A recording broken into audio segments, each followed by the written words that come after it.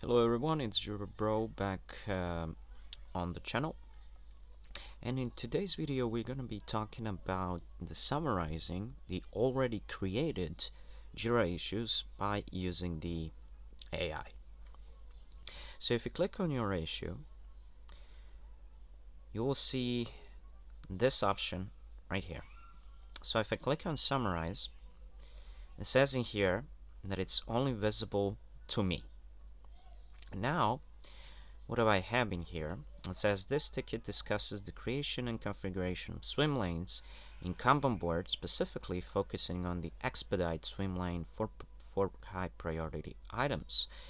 So as you can see, that indeed is correct.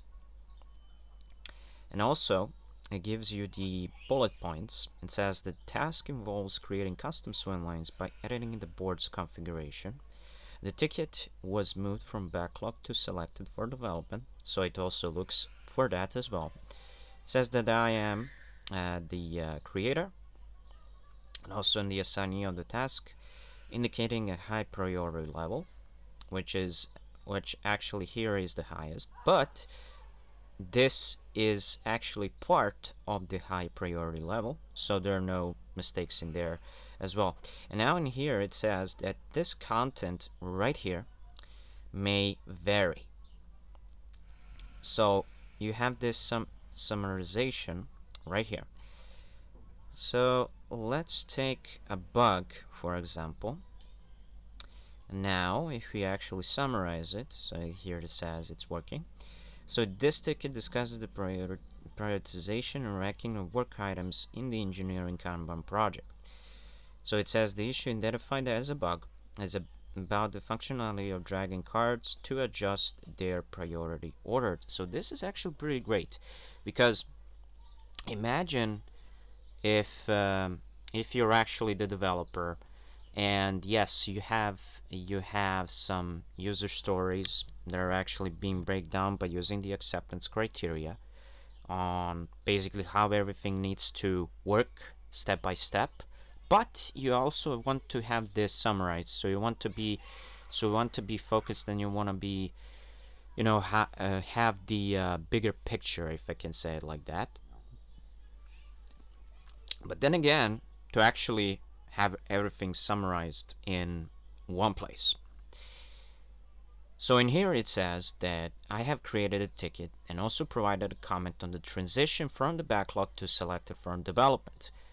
And as we can see it indeed in, it indeed is like that. Currently the ticket ticket is in the backlog status with the medium priority indicating pending action described functionality so that that is also interesting so if we go here let's say in the in the progress okay I'm eager to see what the AI will actually tell us about this issue.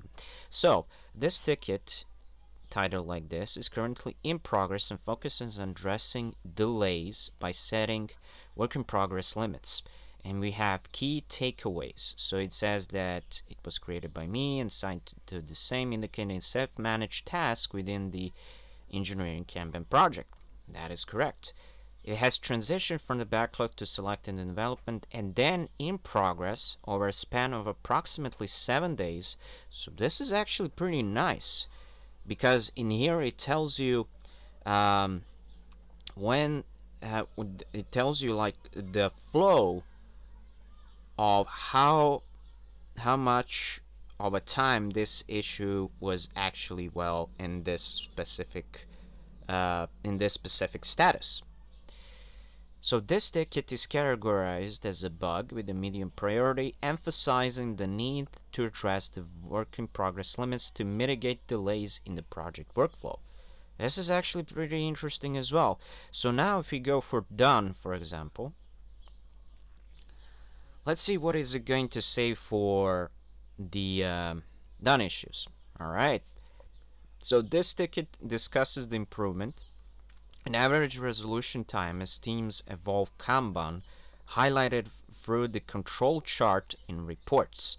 The issue transitioned from the backlog to done within approximately 6 days, showcasing a reduction in cycle time. That's actually pretty interesting because in here now uh, not only tells you what happened, it also tells you the result of of this time spent in the uh, status. Progress through the stages. Backlog to selected for development in 4 days, then in progress in 2 days, and finally to done in 1 day. Oh, this is even even more interesting because it gives you the breakdown how much days it actually spent on each and every status. So it also demonstrates Kanban Kanban's effectiveness in streamlining workflow and reducing resolution time as observed in the control chart. This is actually pretty, pretty interesting. So, uh, I would really recommend to use this summarize option for your created issues because it gives you much more insight and some really interesting data that would be really, really useful to you. Alright guys, that is everything for this video. Don't forget to like, share and subscribe to the channel. See you in the next video. Bye bye.